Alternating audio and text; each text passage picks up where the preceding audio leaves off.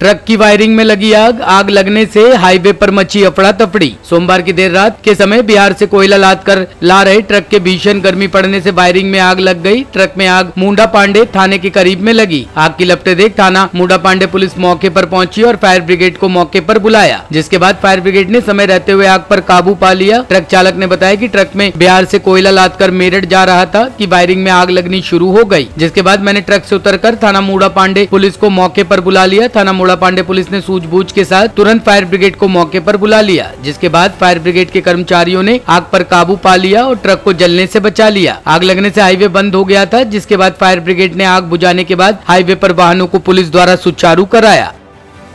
इमरान भैया ये क्या घटना हुई है? आज यहाँ आपकी गाड़ी जो मुंडा पांडे में खड़ी है। ये घटना हुई है अभी तीन किलोमीटर पहले से चले पंजाबी ढाबे से। जी। वहाँ से चलने के बाद में इसकी वायरिंग शॉर्ट हुई वायरिंग शॉर्ट होने से आग लगी जब तक गाड़ी रोकी और रोक के नीचे बताने की कोशिश करी पर यह बुझ ना पाई। गाड़ी में क्या माल था भाई गाड़ी में माल कोयला लोड। है कहाँ से कहाँ के लिए जा रही थी? ये डेयरी वन सोन से आई थी बिहार से। और कहाँ पर जा रही थी? मेरठ जा रही थी। क्या वजह थी ऐसी जो आग लगी है? वायरिंग शॉर्ट होने से। वायरिंग शॉर्ट हो गई जी। अच्छा।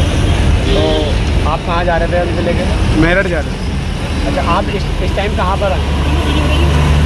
थाने फ्लाई ओवर के ऊपर। अच्छा भैया आपने प्रसाद इसकी सूचना किसे दी थी? सौ सौ नंबर वालों को बुलाया टॉप स्टोरी ब्यूरो के लिए मुरादाबाद से अमित कुमार शुक्ला की रिपोर्ट।